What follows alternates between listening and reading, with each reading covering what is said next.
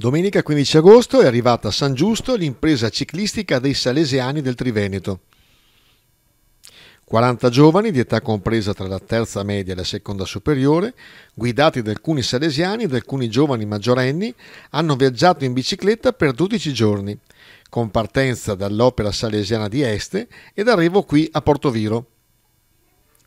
Un vero e proprio campo mobile con tende e cucine da campo e seguito che ha trovato in Assisi e Roma le tappe più significative. Domenica la carovana, scortata dall'auto dei vigili urbani con Mario Mantovan alla guida, è entrata festante a San Giusto, accolta tra due ali di familiari, ansiosi di rivedere i figli.